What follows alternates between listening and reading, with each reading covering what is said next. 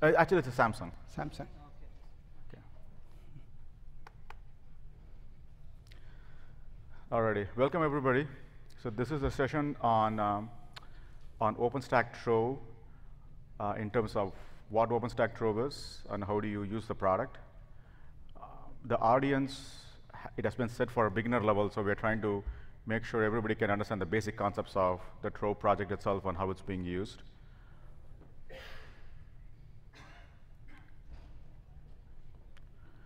So it's so both Shiv and I will be presenting. So my name is Sriram. Um, I work at Tesora. I'm the director of implementations there. So I work with customers both in pre and post sales. My name is Shiv. I'm a tech lead at Cisco. Uh, so I'm leading the team for setting up a database as a service at Cisco. So Cisco is uh, using Trove project for providing database as a service, and we will talk about what Trove is in general, and in particular how an end user can use Trove in an enterprise scale. So it gives you a sense of how it can be used. So we are going to talk about Trove at high level. We are going to talk about the, the, the concepts. And then there's going to be a tutorial session, and we'll go over MySQL and Mongo and you know, what are the things you can do with it. One of the, one of the challenges here is that this this course I have delivered it a few times and is usually around four hours long.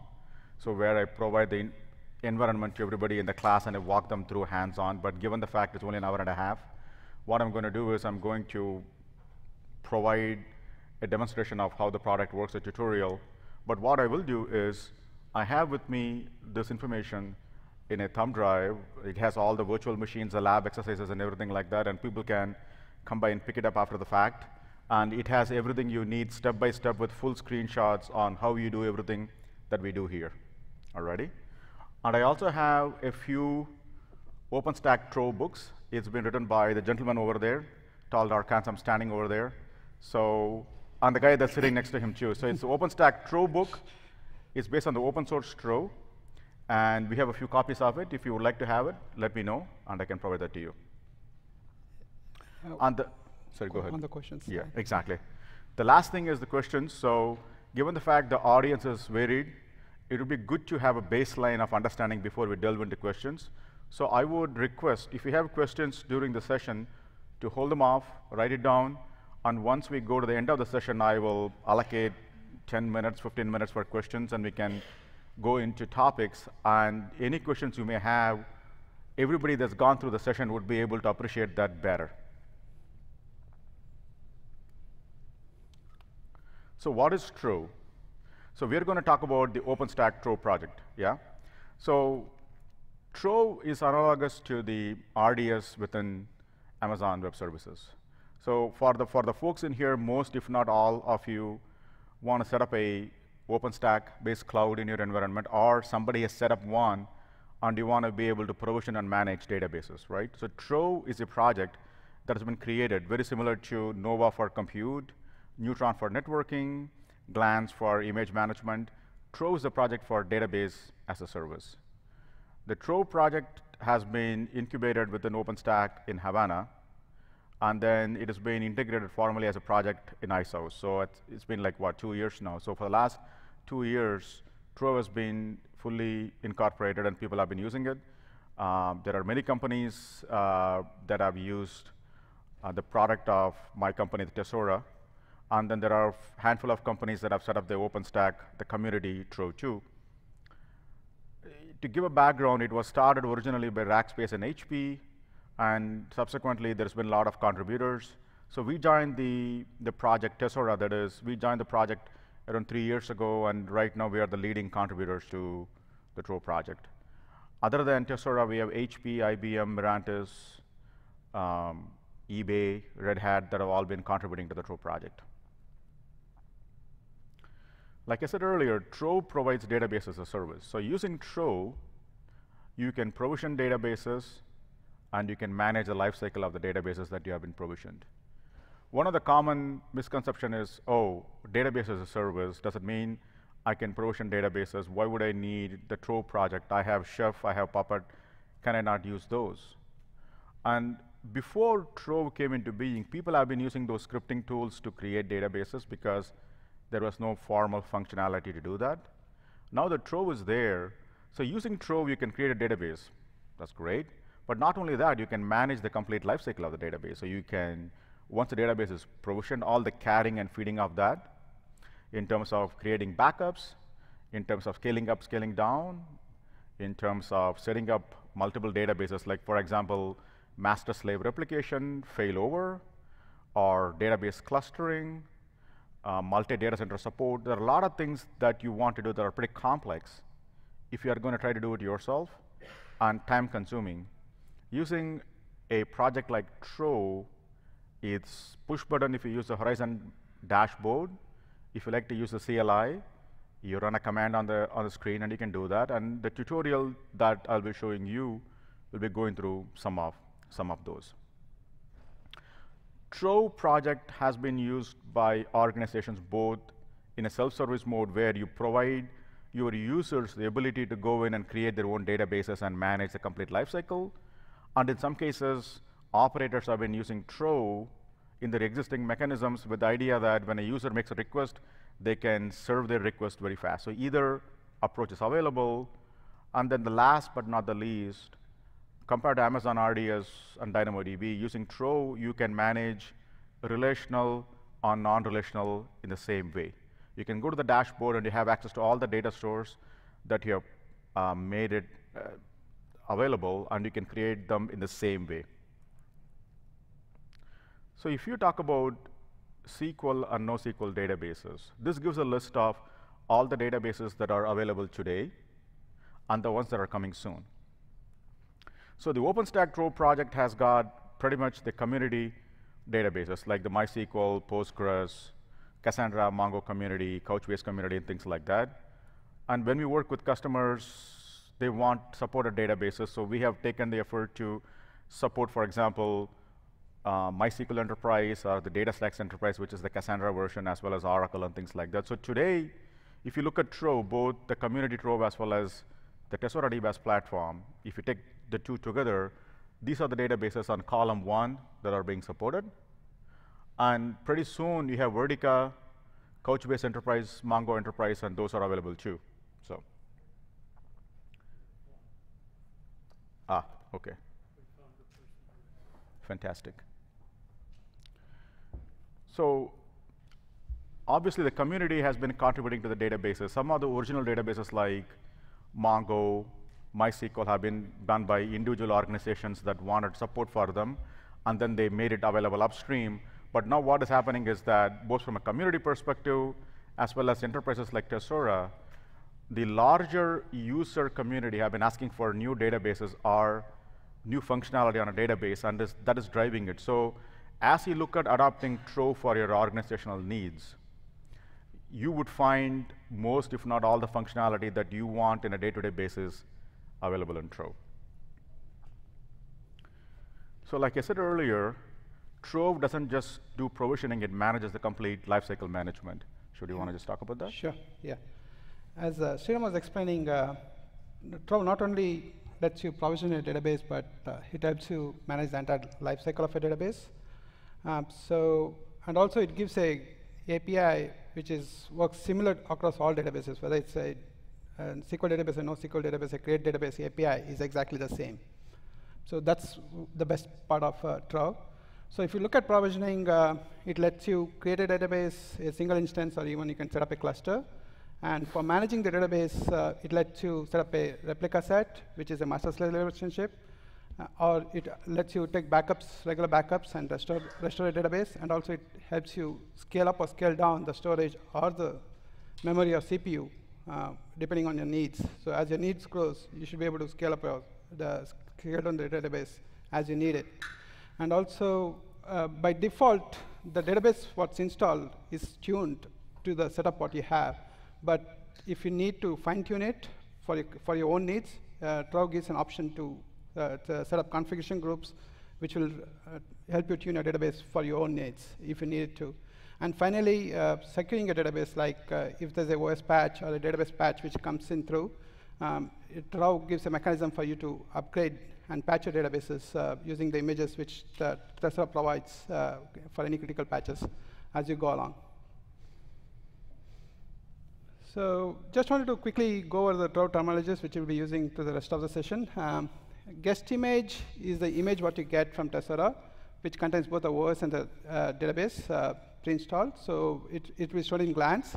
And when you provision the database, this image is used to uh, create your VM. Guest agent is the API which acts, uh, helps us uh, separate, the, create a barrier between the individual uh, data types and um, the APIs. The APIs, as I said earlier, it's exactly same if you try to set up a MySQL or Postgres, but the guest agent is one which will translate into your specific data, data store type, or data type what you're using, database type. Trove instance is a, nothing but a database instance which contains the guest image and the guest agent. Uh, cluster is a set of uh, cluster databases which you can set up. For example, Mo uh, MongoDB cluster or uh, MySQL Percona cluster. Data store is a data type. Basically, it's uh, MySQL Postgres. Um, that's what we call it as a data store. Data store version is a version of the database like MySQL 5.6 or Postgres 9.4. Configuration group, as I uh, explained earlier, helps you fine-tune your configuration for your database. So this is where you set up. We'll show it later. We'll talk a bit more uh, later. And flavor is uh, basically where you um, pick your uh, what you need for your compute, memory, or storage. So this is where you set up the pick up the flavor. That's what we call as a flavor. So it uh, translates into the Nova and storage uh, in the backend. Thanks, Shiv. So these are all terminology that we'll be using throughout the session to talk about a guest image turned into a, a database instance, spinning up databases based on data store, data store versions, fine-tuning your instances based on configuration groups that we can create, and then scaling up vertically based on flavors that you want to use. So how do you how do you create a database using Trove? So basically, there are certain things that are needed to spin up a database instance using Trove. So we just talked about flavor, the kind of machine that you need. So the flavor support is something that you definitely need. And then when you create a database, the database itself, the data in a database is stored in a, in a block storage format. So you would need Cinder volume support for that. And in addition to that, um, what Trove offers is that not only you can you create a database instance, but for those databases that support the paradigm, as part of the database creation, you can actually create databases and users. So let's say that you as a user or someone in your organization wants to manage access to databases. So when you say, hey, I want a new database, they can create a new instance. You can say M1 large as an example. They can spin up a database in an M1 large. At the same time, they can create a database or the set of databases and create users that will manage those databases. So when you get back a database instance, you know for a fact it's got the databases and the user, so you can turn around immediately, log in as those users, and start accessing those database instances. And then configurations, we just, we just talked about it. Configurations are a way to fine-tune your database, set up parameters that you want, and apply it to one or more databases at the same time, and manage that. And the, and the last thing is that not only can you create databases, we talked about the lifecycle management. So when you take a backup, you can use Trove to restore that backup into additional instances. So you have a number of instances sharing the same schema and users and the like. So these are some other things that you can do as part of provisioning a database and using the OpenStack functionality. Now that we talked about at a very, very high level about what Trove is, the background, and the kind of things that you can do with it, and the terminology, what I'm going to do is I'm going to actually go in into a tutorial um, like I said, normally I would provide you these, these thumb drives and you'll set, up, set them up in your laptop and you do them yourself. But right now, because of the time constraints, I'm going to walk you through that. Like I said earlier, for those folks that joined in late, I have many more thumb drives. If you want to try it out yourself, come talk to us. We'll be happy to share them with you, where you can go try them in your, by yourself. So for the tutorial for today, what you're going to do is we're going to start with MySQL and go into Mongo. So we'll create a MySQL database. We'll show you how to create backups, how to restore from the backups, how to scale up, scale down, how to fine-tune the MySQL databases that you've created using the tuning parameters that you want to use. And then we'll then go ahead and create a Mongo database. So you have a sense of using the same dashboard, you have a combination of SQL and NoSQL databases all living together happily. Yeah?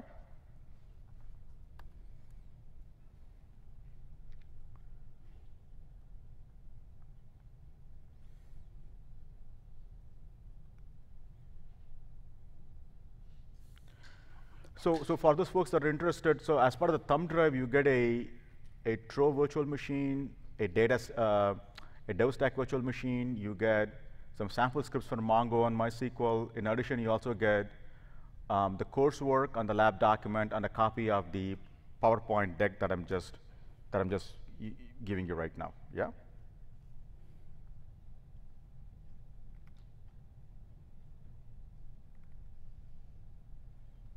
So moving on to the demo. So for this demo, even though we are focusing on the OpenStack Trove for this demo, I'm using the Tesora DBaaS platform because we provide database guest images, and we have a bit more functionality through Horizon dashboard, and is easier to easier to use there. So, so this is the same Horizon dashboard that you get with OpenStack, except it's got more functionality available for the database tabs. So I'm logging in as the admin user.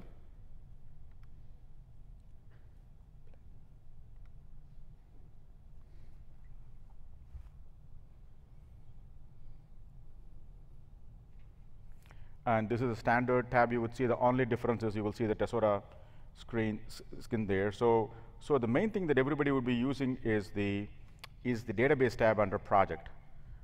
So if you, if you look at it, you see databases, clusters, backups, data stores, and configuration groups.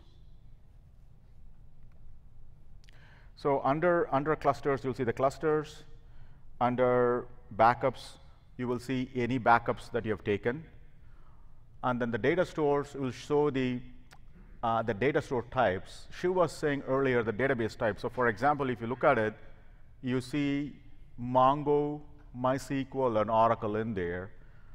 And it basically goes to show that in the current setup that's there, if you want to create databases and manage them, you can spin up MySQL databases. We are going to do that.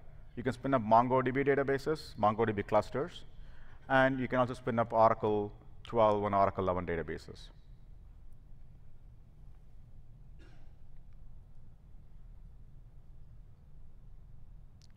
And the configuration groups is the one, like I said earlier, to tune your database. In addition to that, Trove uses the OpenStack functionality to orchestrate and to attain its goals.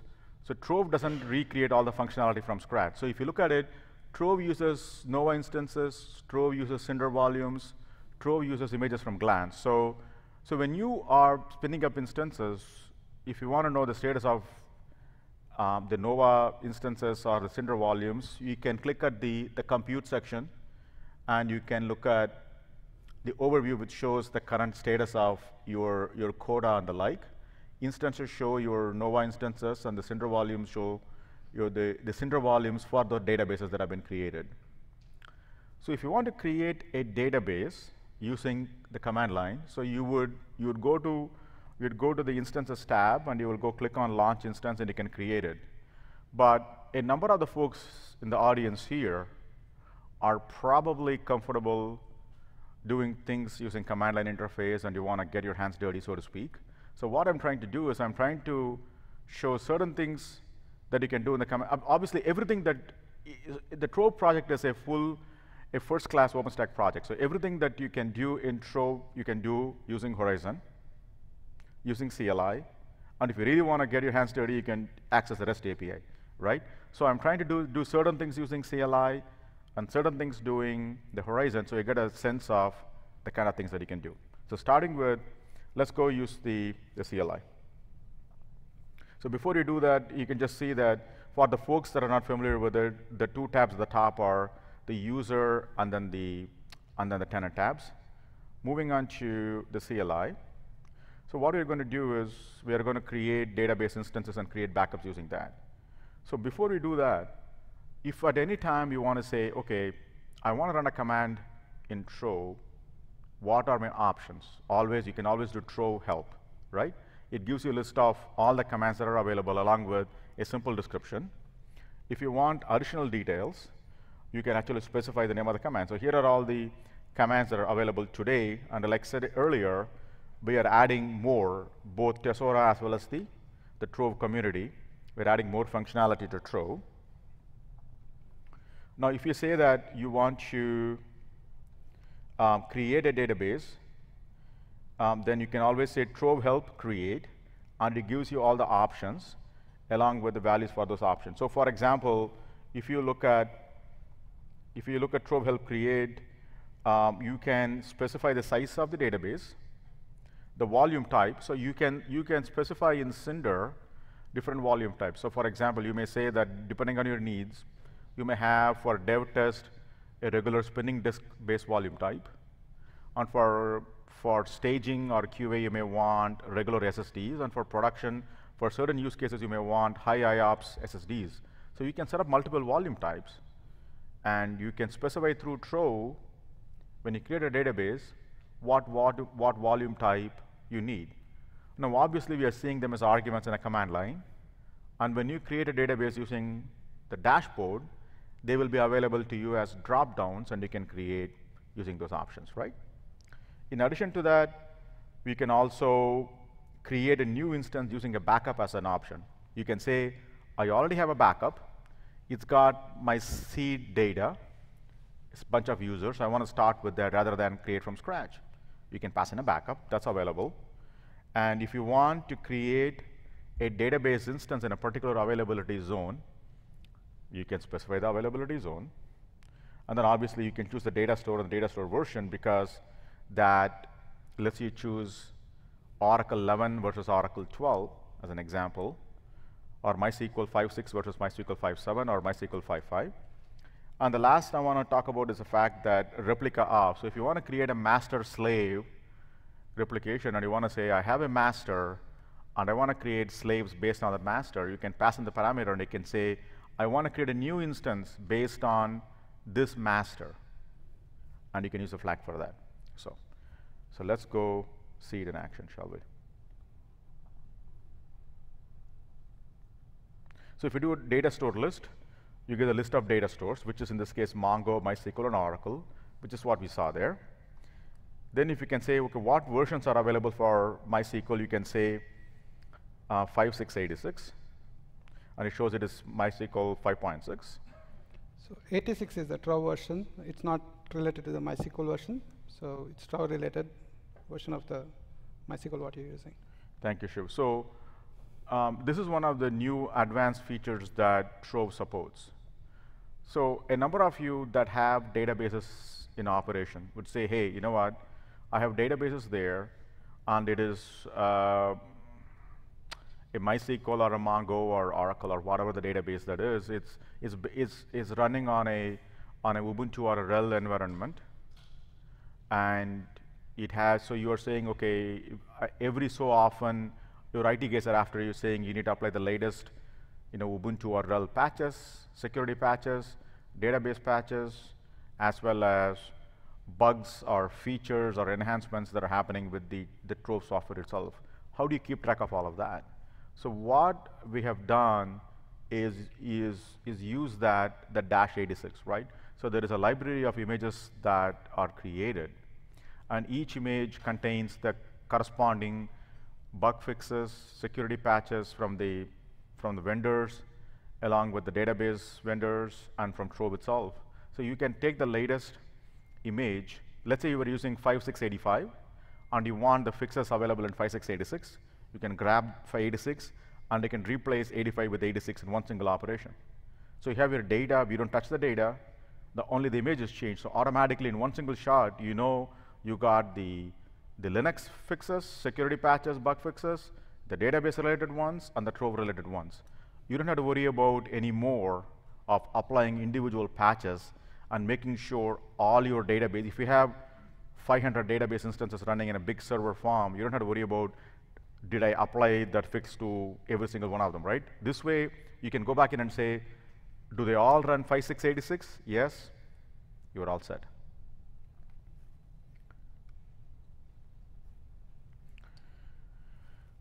So, so, so that is that.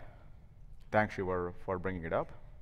So this is the command for, for, for Trove. I cheated, I'm sorry. I just wrote it down earlier so that I don't type in on the screen by mistake. So basically, quickly, let's go through that. So basically, the command is Trove create, and you provide a name for the instance. I am name challenged, so I chose MySQL 1. And then, One is a flavor. and then and then the flavor is 101, and then if you do a Nova, for the folks that are familiar with OpenStack, you can do a Nova flavor list or a Trove flavor list, and you get the flavor along with the flavor ID. You pass in the flavor ID. In this case, I chose 101. And then you want to see the size of the database itself. So I ch choose to create a MySQL database with a size of 2 gigs. Then obviously I'm saying that I want MySQL data store, and by the way, I want the version 5686. And then in addition to that, like I said earlier, I said earlier, when you create a database instance, hey, you can create databases and users. So in this case, I create a database called database1, and a user called user1 of the password password. So I ran the command. It shows that the command ran.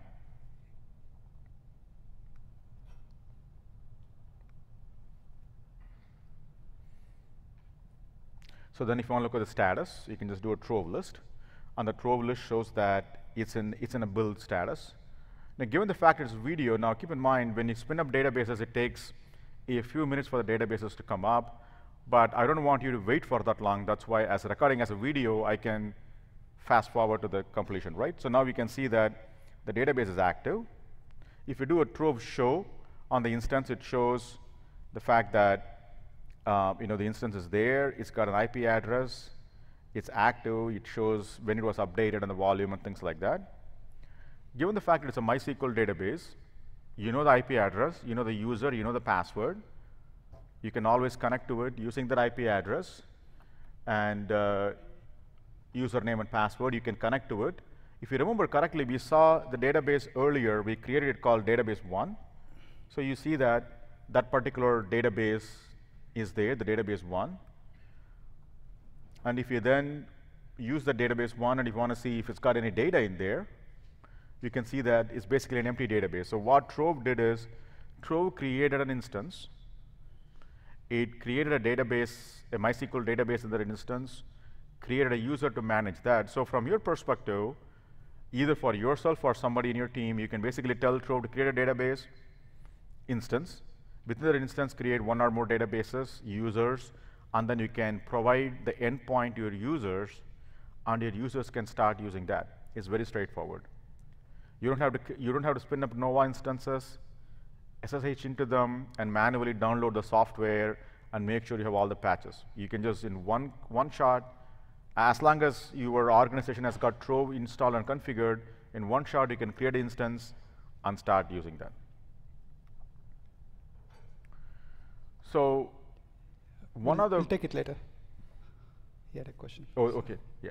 So if you could just keep your questions later, then once we cover it, we can go through all the questions, yeah? So like I said earlier, the purpose of Trove is not spinning up instances, it is also the lifecycle management, right? So just um, I want to quickly go into the, the UI and show the fact that um, when you create a Trove database instance, you also create additional things. So three things happen at high level as you're learning about Trove. When you create a database, you need an environment for the database to run in, and you need a place for the data to get stored.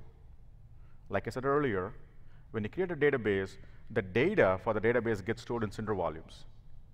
So they would be available under volumes. And then when you create a database instance, you need a machine, so to speak, a virtual machine or a physical machine if you're using Ironic, for the database to run in and then those machines are in, in your Nova instances, right?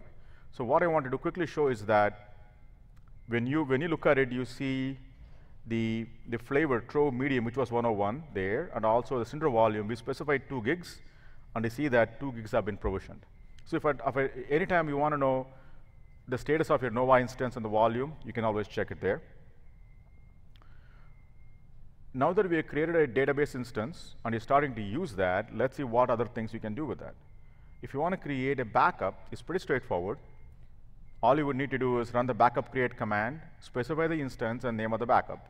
So in this case, we said MySQL 1, and the name of the backup is backup 1.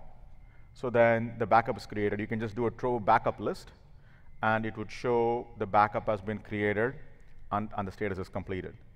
So now obviously you can, you can have full backups like we did right now. You can also have incremental backups. Um, and, and, and, you can use them that way. So now if you look at the screen, the same thing that we did in the command line, you can, you can see it in action. And if you have backups, and if, for example, your team is creating some database and you're creating a, a backup, um, and then you want someone else within your organization to use that backup to do other things, then you can very easily do that. So to restore from a backup, that's what you would do, right? You'll go restore backup. You get the same screen as you would. Now, keep in mind, we created a Trove instance initially using the command line. I wanted you to get a sense of how would you use, command, use command line to create and manage instances, right? That's what we saw. Now, most of the end users in large organizations that want to use Trove database as a service will not be probably using command line. Some developers, yes. A lot of the end users, once it goes live, will be using the dashboard. I want to show to you what the experience will look like. So from now on, for the most part, we'll be using the dashboard. And obviously, like I said earlier, every single thing that we do in a dashboard can be done in a command line. And if you don't know what the command is, just do a trove help. I'll show you all the commands and the options. So now we are going to restore, restore the backup. And we are going to, but keep in mind, if a backup was created with two gigs, you don't have to restore it to two gigs, right? You can say, I want a bigger database. You can create a 10 gig database and restore that backup, right? So those are, that's why you're given the options there. So you can say, I'm going to create a, a instance from the backup, and I'm going to call it, I believe, guest one. Once I start typing in my, in my recording, there you go, guest one. And then for right now, I did everything on my laptop, so slightly resource constrained, so I still stick with two gigs. And then I choose my, my database type, the data store, choose my flavor. And if you had different volume types like uh, spinning disk, SSDs, high IOPS SSDs, then you can pick them from the drop down.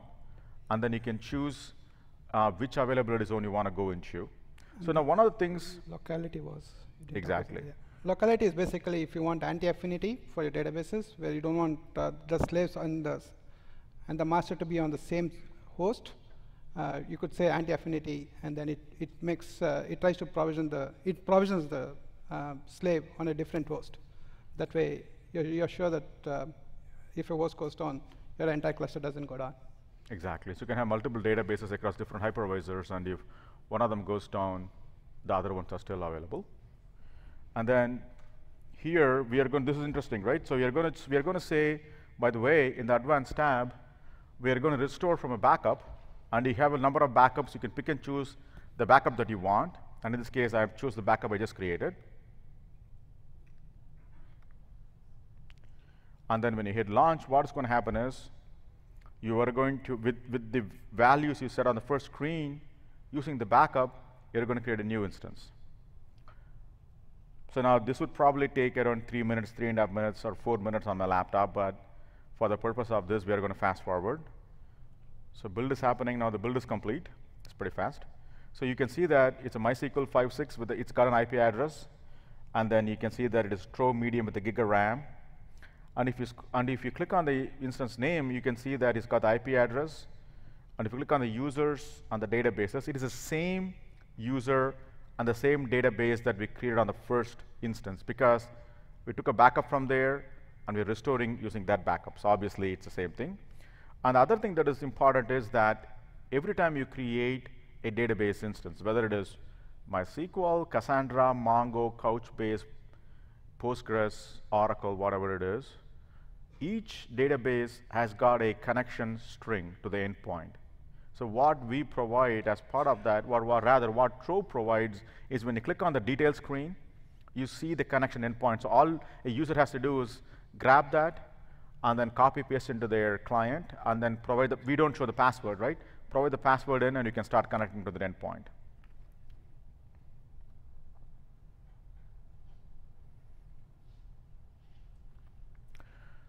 And then there are a bunch of other things you can do through the screen. We talked about scaling up and scaling down. So if you want to scale up, you can say resize instance, resize volume, attach configuration group. If you want to manage root access, you can, right?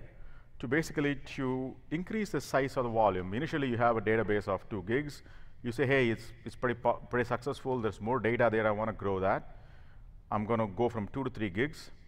So you just change the value to the one you want Now it's 3 gigs from, from 2. If you say, hey, you know what? Once again, I need a lot of activity going on. I want more CPU, more memory.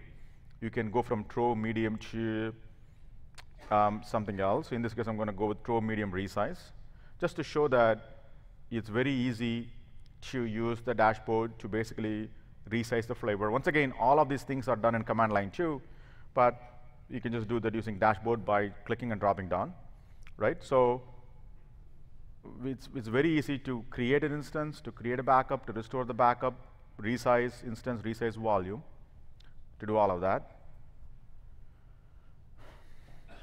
And then we, and, and then we talked about configuration groups, right? So what are configuration groups? So initially, the database images that are available are tuned for your needs. But let's say that um, you want database, you say, hey, you know what, based on the work that your DBAs have done, you want to tune them to a particular values for the different parameters because that's what works for your organization. A lot of companies have that need. So how do you do that? How do you make sure every single MySQL instance, every single Mongo instance, every single Oracle instance that you're using have the same template? And by the way, after six months, if your DBAs want to tune it further, you go to one central point, you change it once, all the databases get updated automatically. How do you do that? Using configuration groups. So what you can do is we are doing configuration group for MySQL right now, obviously, but the same thing applies to all database types, or as we call it in Trove, all data stores. So you can create a configuration group. We create one for MySQL. So once you have a configuration group, it's, a, it's an empty shell. It doesn't have anything in there. What you can do is you can basically add parameters to the configuration group. And if you want to know, hey, I don't know all the parameters that are available for a given data store, all you would need to do is click on add parameter and Trove will give you a listing of everything that is available for that particular data store. Now keep in mind, these are the ones that are available for MySQL. If you're using Mongo or Postgres or Cassandra, it would be different parameters, obviously. You can pick and choose the parameter you want. You can add the value. A configuration group by its name indicates it's a grouping of a number of parameters, right? Instead of just one, you can have a group that's got, I don't know, how many ever you want. And when you apply it, all the values get applied. So if you want to know, uh, one of the things is if you are going to change the value of a given parameter, you want to know what was there to begin with, right? So we provide you that too. So if you go to this database, the one that we got from a backup, you click on the defaults, it shows all the parameters available and what the default value for those parameters are. So you can say, hey, okay, in this case, I'm going to, in this example, I'm going to use max connections. The default value is 250. And let's say that for your purposes, you want it to go to 260 as an example. So okay, you say that that's what I want to do. So what you do is you go to the configuration group, you add parameter, and then you choose the one that you want. In this case, is max connections, and you and, and you enter the value, and then add parameter. So what you have is you have a configuration group with a particular parameter. If you want to add additional parameters, you can click on add parameter till you have done all the ones you want. Once you're done, you can just click on apply changes and the configuration group is created with that parameter. And then if you want to apply to instances, you can basically go to the instance that you want to. You can say add attach configuration group. And then, and then what you do is you attach a configuration group, and then there you go. So the interesting thing is if this parameter would necessitate a database server restart, we would automatically flag that and say data server restart, and you'll have to restart before you can access the instance using the Trove dashboard. We, will, we, we take care of that too. So if you want, so right now what we did is, as I was talking, we attached the configuration group to the instance. So if you want to know that, hey, has it changed from 250 to 260, one easy way to do that is go back to, in this case, MySQL, right? You can use a MySQL client, and you can go back in and see if it's changed. So basically what I'm doing is I'm getting the IP address by using trove show guest one. It shows it's running on 172.16.213. So I connect to that instance using, I believe the user is user one with the password, password. So I connect to that instance.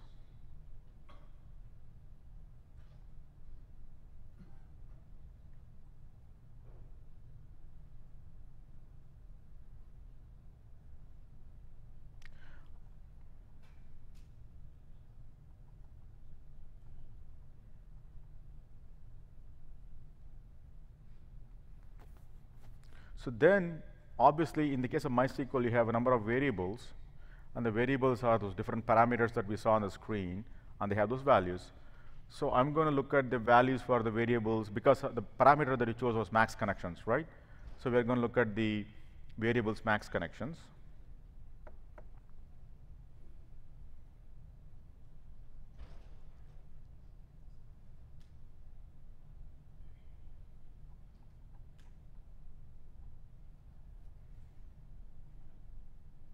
Okay.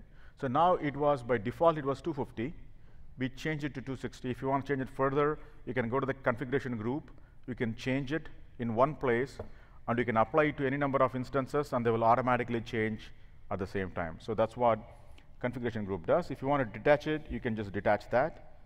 So that's how you can very easily create and manage. And this is self-explanatory. If you want to delete an instance, all you would need to do is click on the uh, checkbox next to the instance, click on terminate instances, and uh, it gets deleted. I think one thing to keep in mind is that for every Trove instance, you have a corresponding Nova instance and a Cinder volume. So when you create delete instance, the first thing that happens is the instance goes into a shutdown state. So obviously, you can't do anything to that. While it is in the shutdown state, it goes behind the scenes, and it deletes the Nova instance, clears it out, gets, gets the resources back and clears the Cinder volume. So when you delete an instance, the, the, the, flavor instance is gone as well as, um, as well as the volume. But the one thing is any backups that you take, they're still around. So you can create an instance, take a backup, and you can delete the instance because, you because you no longer want to pay for it. But the backups are still there. If you want to create a new instance in the future with the same backup, you know what? You can do that. And the one additional thing we're going to show is how, we, now that we talked about relational databases, MySQL, the kind of things that you can do, do to it. Now there are additional things you can do. You can create a master-slave replication. We can do failover all through the command line or the screen, or you can create Percona XtraDB clusters or MariaDB clusters or things like that. What I want to do is I want to show you how to create a Mongo instance and show that using the same dashboard for your users, you can have any number of different kinds of databases available. More importantly, what I want to show the fact is that Trove, it abstracts the way in which you deal with it. So the way you, in which you create a MySQL database to a Mongo database is exactly the same. So once you train your users how to use it, all they would need to do is pick and choose the database they want, and then off they go. And they want to take a backup, exactly the same way. They want to create a replication, same way. Cluster, same way.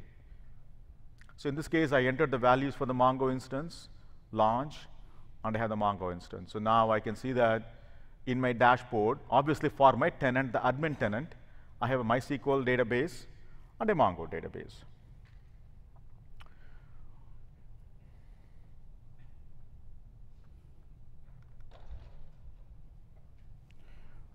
I wanted to do this so that you have a sense. Normally, this is something we'll all be doing it together, and in the thumb drive, you have instructions along with the virtual machines that you can start that have the MySQL and the Mongo database loaded. So you can go and do everything that we did and more in that, right?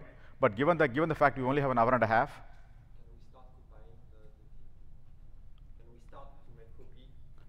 No, no, I can, if you want, I can, I can just provide that to you, not a problem. You this is, this is, this is pretty big. It'll take you a long time just to copy it. so I'll, I'll provide that to you. No, I can, I can collect the information, I can give it to you, not, not a problem. Not a problem at all. Um, so for those folks that want this, let me know. I can, I have a bunch right now with me, and if, if you run out, I can send it to you, no issue. My goal is for you to try it out and touch and feel and see how it works. So one of the goals I have is to kind of walk you through introduce you to Trove, how it works, before going into the architecture and some sample ways in which you can deploy. I wanted you to have a sense of how it works. Then when you talk about architecture, it would make more sense to you, right? So in this section, we are going to talk about how Trove itself is put together under the covers. And we're going to talk about Cisco Intercloud and see how they have deployed Trove in a scalable, highly available manner. So you have a sense of how it will actually be deployed in an enterprise manner, right? So in a thumb drive, running a single instance is one thing, but can you really deploy it in an enterprise way? Sure. So this is the Trove platform architecture. So for those folks that are familiar with OpenStack, you can see a lot of similarities, right? The OpenStack projects in a lot of cases are designed similarly, not the same way, but fairly similarly. If you, okay, I guess the next one. No. Hold on. I think there is a lag here. shut it down. Hold on. Hmm.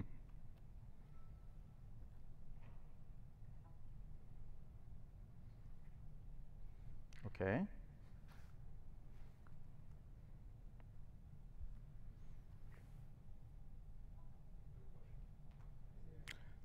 I need help from the back. So, okay, you can see that.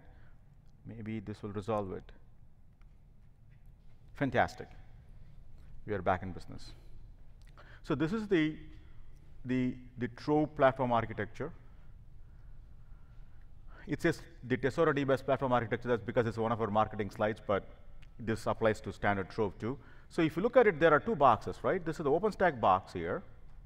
It's got all the OpenStack services. Like I said earlier, Trove does not recreate anything from scratch. It does not re, you know, re recreate the wheel, if you will. It uses all the OpenStack structure. It is a core, in the sense core as in it is one of the major OpenStack projects. So it interacts with every OpenStack project. So for example, if you look at Nova, if you look at Cinder, Swift, Glance, Neutron, Keystone, they're all there. And if you look at the Trove box, you see Trove there. So there is a concept of when you look at Trove, think of three things a Trove controller, a metadata database, and a message queue.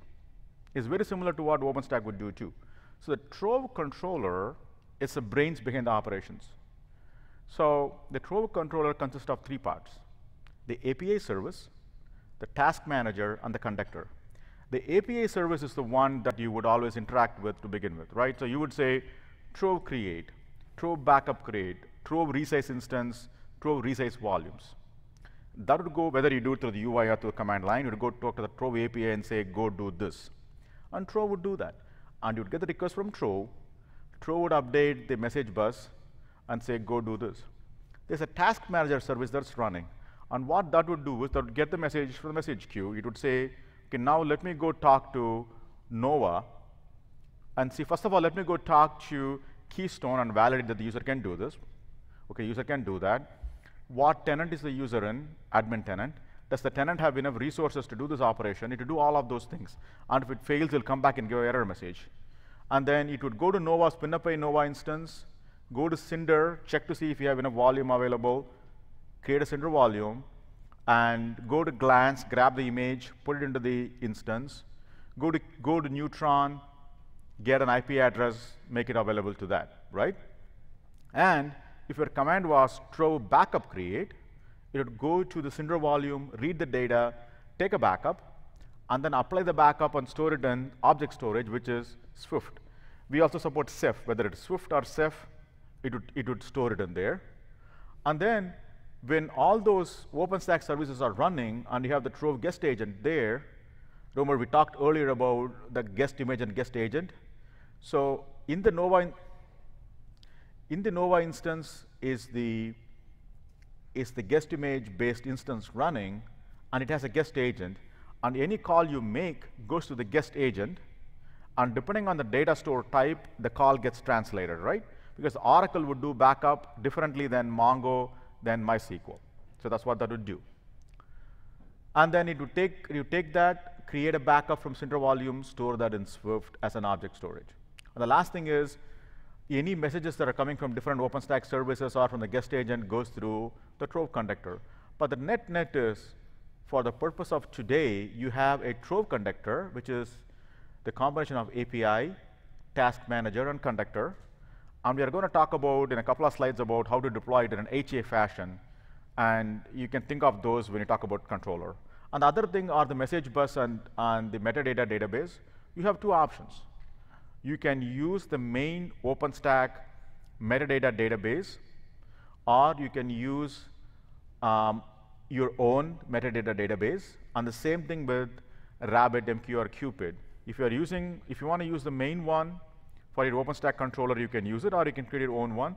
What we see um, from customers and audience in general is that they don't want to modify or touch the core OpenStack message queue or database. So what we ended up supporting is you can have your own copy just for Trove, a MySQL database, a clustered format because you want HA for Trove, and correspondingly a RabbitMQ just for that, and you can use it just for Trove. So that way everybody's happy. So now Shiv's going to talk about um, how Cisco Intercloud is using Trove and how they have set it up and how they have done it in HA fashion. So this should give you a sense of it's all good to create single instances and talk about how Trove components are, but how do people use it in a real, in the, in the real world example? Just wanted to take a few minutes uh, just to explain what Cisco Intercloud is. Um, if you look at the current scenario, you have public clouds uh, providers like Amazon, Rackspace, and you have private cloud providers like uh, uh Microsoft.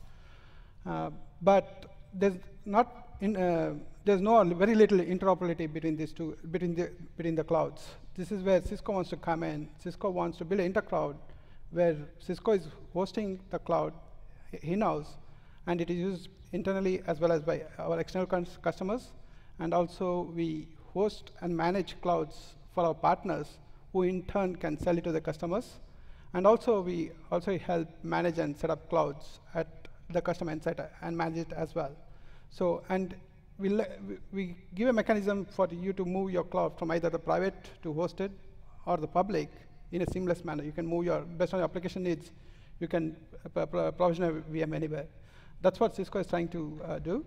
And uh, coming to how we have deployed Trove at Cisco, uh, basically, uh, this is in a single data center. We have a service cloud, which is where all the management uh, VMs are there, and, and then we have a tenant cloud where the tenant uh, VMs gets provisioned. Uh, the service cloud is managed by the cloud operators uh, within Cisco who control and manage the service cloud. But if you look at the tenant cloud is totally uh, for the tenants. Uh, so the service, the cloud operator can look at it, but he doesn't have access to the tenant VMs. That way we are securing the tenant's data. so coming, taking a look at it, uh, for the Trove, we have a uh, Trove, controller and the um, uh, DB for the metadata. We have a Percona cluster, and uh, we have uh, cre created the RabbitMQ its own tenant DMZ just for security purposes, because that's the only piece which communicates between the tenant cloud and the service cloud. That's why we have security in it, its, its own DMZ. And all the communications happen through SSL. Just to be clear, right, so we talked about the architecture piece earlier in the previous slide. That architecture slide would comprise the service cloud, right? It has all the OpenStack, the Trove services, and that would be the service cloud. And from a tenant cloud is actual instances that an end user would spin up, all the databases, so that would be the tenant cloud, right? So they will be dealing with the actual databases and the instances, and the operator would be dealing with all the, the services and making sure the services are up and providing all the necessary functionality. And if you look at uh, tenant A, that's his own network. The tenant A is uh, the VMs are created in, its, in, in, his own tenant network. So no, uh, only the tenant has access to the database itself, uh, and the service cloud provider doesn't have access to the uh, database. Coming to like if you're doing in production, you need HA. So we have built HA uh, across all the Trove layers. so we have created the, the controllers uh, behind a load balancer. Uh, so that way you can access through HA proxy. Uh, the Trove APIs and the Trove CLI comments or even the horizontal UI communicates to the load balancer. And for the back in my metadata database, we are using Percona Galera cluster, uh, master master in a master master mode. Again, it's behind a load balancer. And for RabbitMQ, we're using uh, the RabbitMQ cluster, and we're configuring um, uh, the trove.conf to do uh, to connect to the RabbitMQ on a round-robin basis. So even if any of the VMs goes down, your service is not affected here. So if, for example, if a Trove control goes down, you can spin off another new VM and uh, restore, restore it, and then automatically put it into the pool, and it's seamless sort of thing. So there's availability um, all across the layers. Do you have time for the? Yeah, absolutely, absolutely. I think we are slightly ahead of schedule. So what I want to do is there is a, uh, a slide we had kept uh, regarding monitoring so we want to just kind of go through that too. So just one more thing means uh, monitoring is also a very important piece in production. Like uh, how do you manage uh, your, your, you set up your production environment, but you need to monitor it and make sure that the service is 24 by 7, it's running 24 by 7. So as I said, in the service cloud, we have the Elk stack, uh, which uh, takes care of like the Kibana, Elasticsearch, uh, where we which, which does the basic VM monitoring for the service cloud VMs, that's the Trove VMs, the Trove controller, RabbitMQ, and the Trove uh, metadata database. And also, we collect all the um, logs from the message queue, uh, monitoring logs, and push it into Kibana as well. That way, if there are any anomalies, uh, it, uh, we can uh, get alerts created and get paged so that a cloud admin can go and take a look at it, why the service is in a degraded state, and take appropriate action. Similarly, on the, as I said, since we're not managing the database itself on the, um, for, for, for, the customers, if the customer wants to look at a slow, for example, if he wants to get alerted if there's a slow query running on the database. So what we have done is basically uh, we have set up uh, the basic VM monitoring as well as the uh, um, MySQL, uh, MySQL, oops, sorry. That's okay. Just go back up. Yeah. yeah. Uh, this one, and then you could push it to, we are pushing it to Cisco Zeus, all the logs and the metadata, but it's a monitoring as a service, but you could use your own monitoring as a service to capture the logs, and the alert goes to the tenant admin who is managing the database VM on the tenant side. So this is how we have done the monitoring. Yeah, yeah. I think I think this is very important. Thanks, Shiva. I think if you take a step back and look at it, right? So if you are responsible for making sure your organization, uh, you have a scalable stable database as a service, you want to do two things. You want to make sure it is highly available. So there's no single point of failure. Whether it is a metadata database goes down, RabbitMQ goes down, or if one of the Trove services go down, because they're all behind HA proxy and load balancer. If one of them goes down, you can obviously spin up another one, put it in the place, load balancer sees it available and continues to use it. So there is no single point of failure. That's number one. And I believe you know, you could start with three or four, and you can obviously, depending on the quorum, you can add more and more to have it really scalable. The other thing is, it, it's good to have scalable solution, highly available, but you also want to make sure it actually works well and it performs well. For an individual database, we talked about configuration groups and how you can tune it with parameters and things like that. But for your services, you want to make sure you know, it is not being degraded memory-wise or whatever it is and is performing well. So that way, both for that service cloud, where the operators are there, they want to make sure all the different Trove services, the metadata database, and the RabbitMQ, they're all performing to their peak efficiency, and you can monitor through that. And from an end-user tenant, they want to make sure, like Shiv was giving an example of a slow query, right? If you have a My, uh, MySQL slow query, and if it's taking a long time, you want to know that so you are your DBA for your organization can go back and look at it and see what is going on, right? So is it because the parameters used to set up the MySQL itself, you think the configuration groups are incorrect, they need to be tuned, or is there something else going on? Is there a lot of I.O. at the instances? Do you want to go back and scale up, maybe?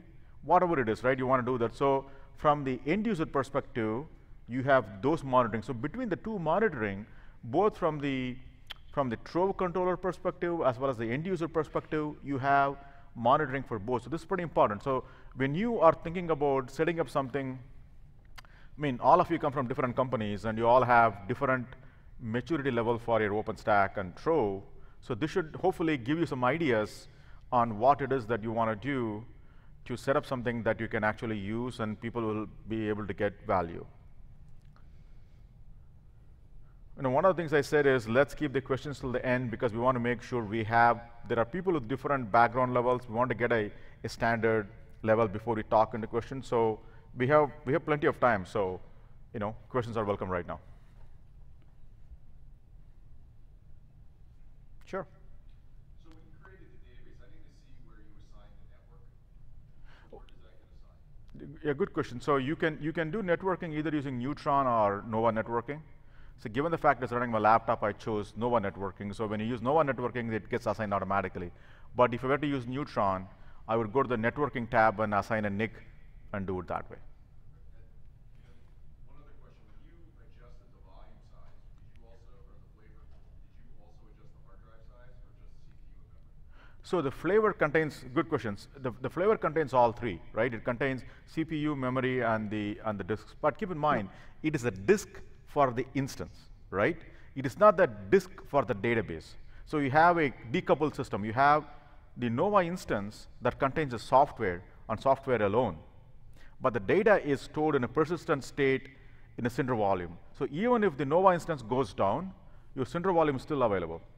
So you're changing the flavor on the database, not on the instance. I change the flavor on the instance. Or how'd the hard? Uh, I'm sorry. I yeah.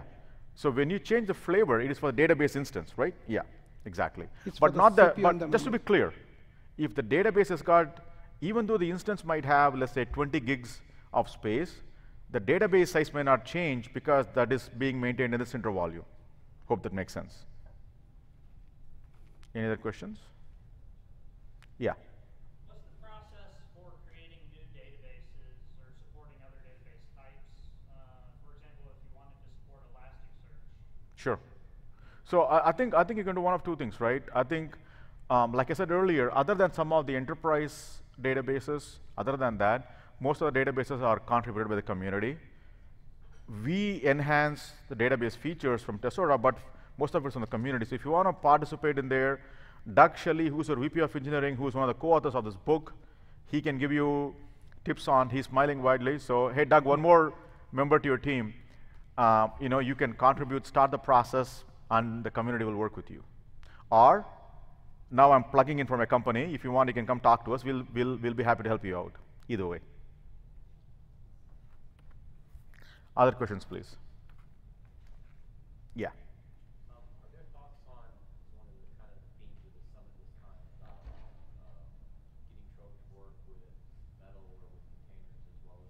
Absolutely, absolutely. It's a very good question. So, as I try to communicate, Trove uses the Nova abstraction. Oh, thank you, thank you. So the question is, we were, I was demonstrating Trove through virtual machines. The question was, can Trove be used with bare metal or containers? Right? I got the question right.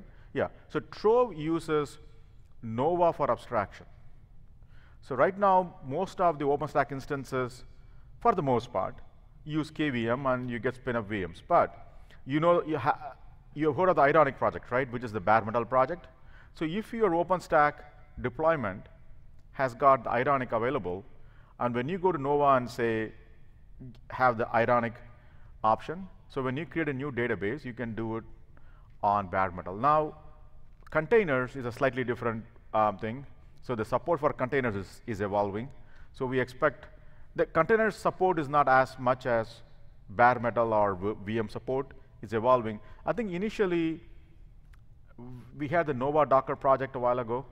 Had that been around, and if Nova had virtual machine, bare metal, Docker support, it would have been easier seamlessly to do all of them. But now Magnum project is there, so it's it's it's work in progress. Hey, Doug, you have any latest update on containers or whatever I told is still true?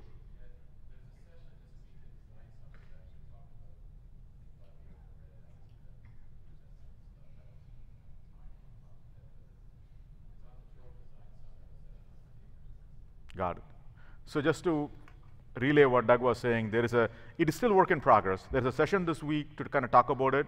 So I'm assuming it's going to be a good three to four or five months before we have something that the audience at large can start using. More questions? Yes, sir.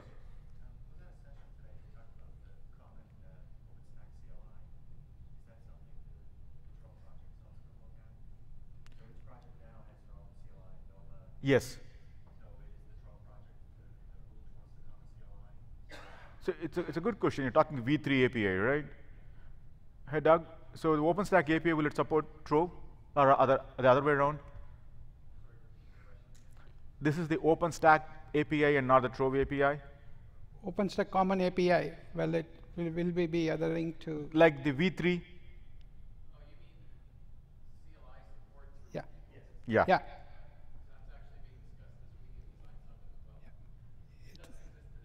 It doesn't, yeah, it's Yeah. work in progress. work in progress. But I think my, my guess is since all the other projects are going through the OpenStack based single API, I think it's a matter of time before we'll support it, but I think design to be, discussions to be had. yes, matter of programming. it's easy for me to wave my hands from here, Doug. Absolutely. Matter of programming, yes. Yes, sir. Um, does it make sense to have Trove to multi-tenant or single tenant? I hear it's single It's not single tenant. If you look at the way we have implemented in Cisco, the tenant A, tenant B was multiple tenants. Only the service cloud where we had one single tenant, but the tenant A means multiple tenants. So you could support multi-tenants in the existing uh. Yeah, that is, that is one example. And keep in mind, when you talk about multi-tenant, it is a loaded term.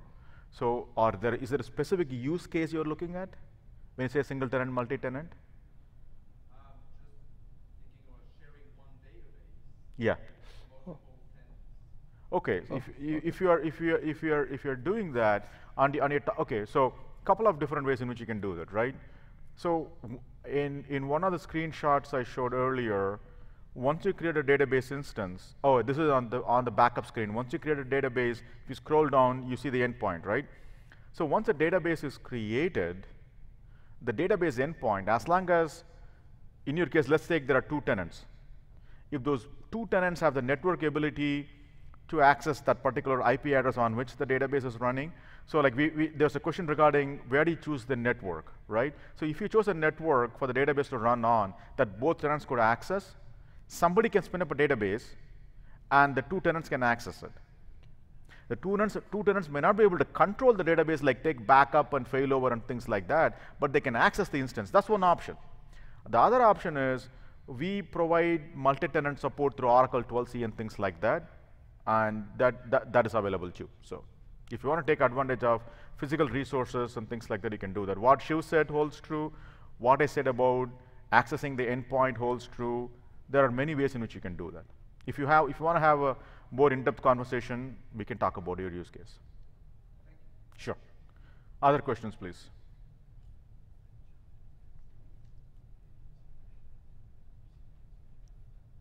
Yeah.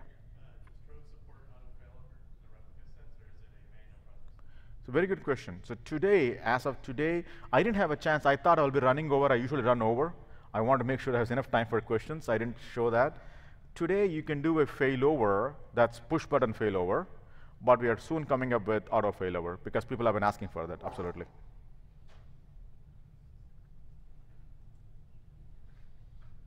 Other questions, please. So are there things, obviously I did not show clusters, I did not show um, replication because I was thinking that I may not have enough time. Um, are there things that, that you want to see that, that I didn't have a chance to show, that you're interested in, either clusters or cluster scaling or failover, something like that? That you would liked to have seen today in the session? that you came in thinking you were going to get at it that you may not have? Or whatever, whatever, given the background that you had, whatever we, you saw today was a good start for you, even, even that's a fine answer. Head shaking would be good, or hand raising would be good too.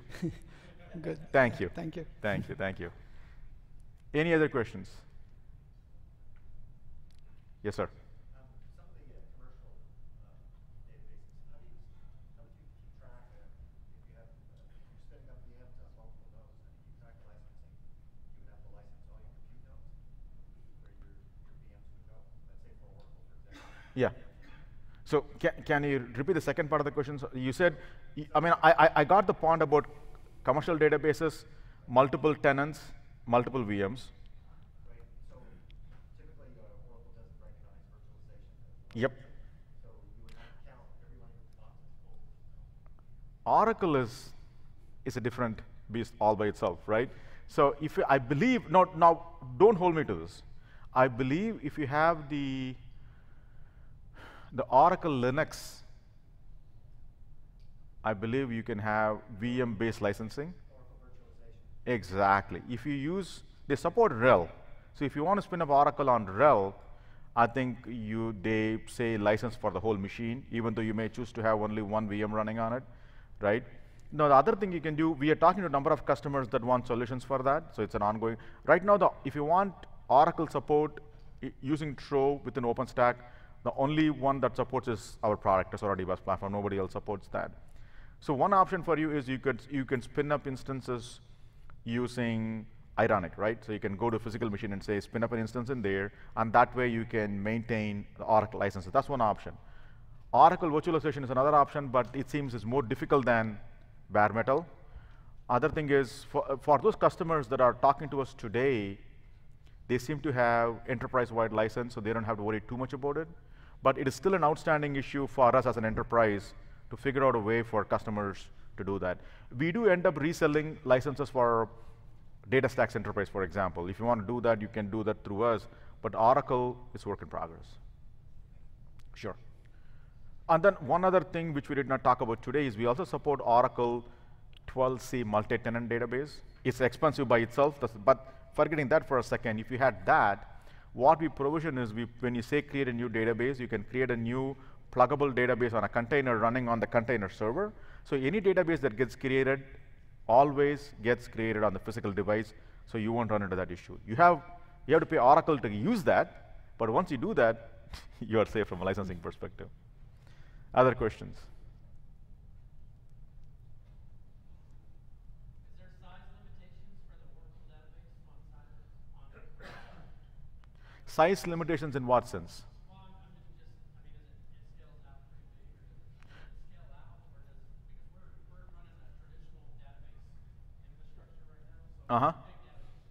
to. So I'm, yeah, so I mean, in your case, you could specify the, either the physical machine or the flavor, depending on what it is. Given the fact my laptop is smaller, I chose smaller ones, but you could have pretty big flavors and you can do that, right? And we are going to support RAC very soon. So if you're talking about RAC clusters and you want to distribute data that way, you can do that. But right now, if you just take a look at an Oracle 11g single instance, um, I can spin up a 5 gig Oracle database, two or three on my laptop, but not more than that. But for your needs, you could spin up a M1 large or M1 extra double large or something like that, which has multiple CPUs, a lot of memory and stuff like that, multiple cores, and you can do that. I don't know if I answered your question, but you have the flexibility to specify either the physical machine or the virtual machine, depending on your needs, and you can do Oracle there. And once RAC support is available, you could distribute that load across based on the RAC cluster itself. Other questions, please? Anything you want to ask Shiv because they have spent a ton of time and effort setting up Trove for real world users? Anything you would like to know, either for from a Trove perspective or even from an OpenStack perspective, the challenges they had and things like that? Sure, go ahead. I see that on your slide you, you had PaaS. Uh, what PaaS were you using? Uh, p- uh, platform as service. Uh, we are trying to build out. We are trying to get Cloud Foundry, but uh, it's still work in progress. Yeah, we are still not designed that yet, but we are planning. Planning. It's it's in the planning phase. yeah.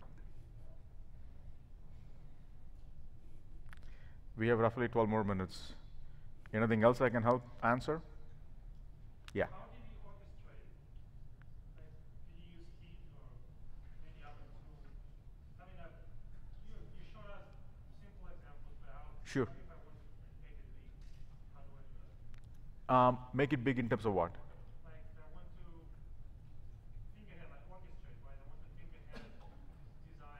Sure. So right now, hey, hey Doug, there's a question on orchestration. Right now, we don't support heat orchestration.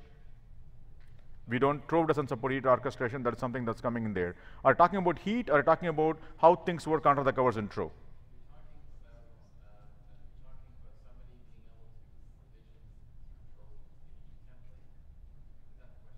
Yeah, that's okay. Yeah. So there's partial support, but it probably hasn't been tested lately, because we haven't had much call for it, but that can be evolved for sure. It, it started. So what we have done at Cisco is we are using Ansible deployment. So we have our own Ansible deployment scripts, which goes and provisions uh, um, entire end-to-end provisioning of the service cloud. We're using Ansible for that. Sure. No, it's something inbuilt within Cisco. So one of the things we are going to provide is our contact information. So given the fact that it's an open community, if there are questions that we can help answer after the session is over, you know, feel free to contact us. We'll be more than happy to help out. Other questions? Anything else we can help clarify, provide answers for? Going once? Going twice? Okay. Thank you, so, everybody. uh, yeah, so, so, so b- before we do that, two things. Um, if there's interest in, in, in deploying Trove, I mean, that we are contributing a lot to documentation for the community itself. It's still work in progress. But if you want to know more about how customers are deploying any general questions, answers, you can come to tesora.com. We can help answer. We can tell you how other customers have done, what you can do, and things like that. That's number one. Number two is that you have my email address, my phone number, and also Shiv's. And I am happy to provide that in the thumb drive. But more importantly, if you go to OpenStack Summit page, this video should be available there, and you will have the same information. You can always get this and hunt us down. So not a problem, right? Thank you for attending it. Like I said, I have, I have a thumb drive for you, but if you want more, let me know. I have, we have a booth and I have a, I have a few there. I'm happy to share that to you. For those ones that don't have it, I can get the information. I can, I can uh, mail one to you.